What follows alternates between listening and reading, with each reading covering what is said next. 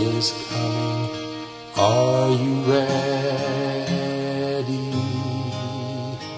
The Lord is coming. Are you ready? Would your heart be right if he came tonight?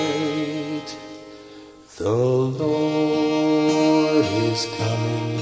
Are you ready?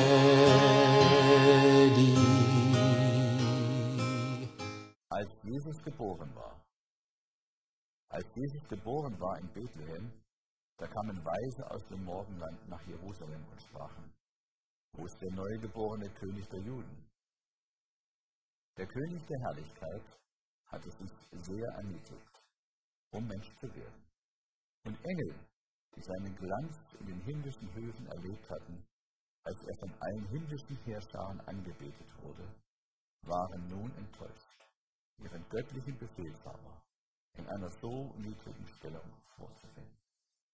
Die Juden hatten sich durch ihre bösen Taten so weit von Gott entfernt, dass Engel ihnen die frohe Botschaft vom Kommen des Erlösers als kleines Kind nicht mitteilen konnten. Gott erwählte die Weisen aus dem Osten, seinen Willen zu tun. Diese Weisen hatten den Sternenhimmel von Licht durchflutet gesehen, von Licht, das die Engelsschar umhüllte, die den einfachen, bescheidenen Hirten die Ankunft Christi verkündete. Dieses Licht war eine weit entfernte Gruppe strahlender Engel, die wie ein leuchtender Stern aussah. Der ungewöhnliche Anblick des großen hellen Sterns, den sie nie zuvor gesehen hatten, und der dort als Zeichen am Himmel hing, weckte ihre Aufmerksamkeit. Die Weisen schlugen den Kurs ein, auf den sie der Stern zu leiten schien. Und als sie sich der Stadt Jerusalem näherten, war der Stern in Dunkelheit gehüllt und führte sie nicht mehr weiter. Sie überlegten sich, dass die Juden über das große Ereignis, die Ankunft des Messias, sicher nicht in Unkenntnis wären.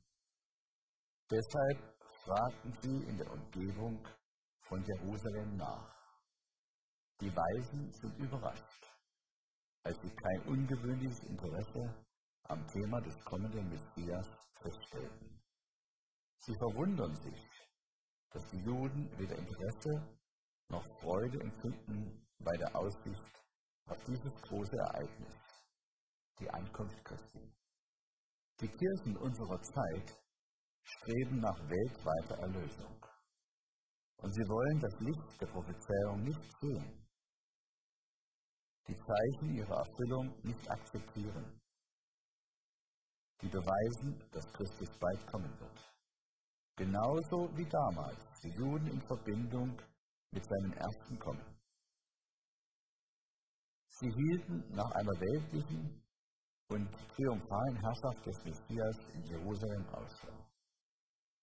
Auch in unserer Zeit erwarten Menschen, die dem Namen nach Christen sind, den zeitlichen Wohlstand der Kirche, die Bekehrung der ganzen Welt und die Freuden eines irdischen Millenniums.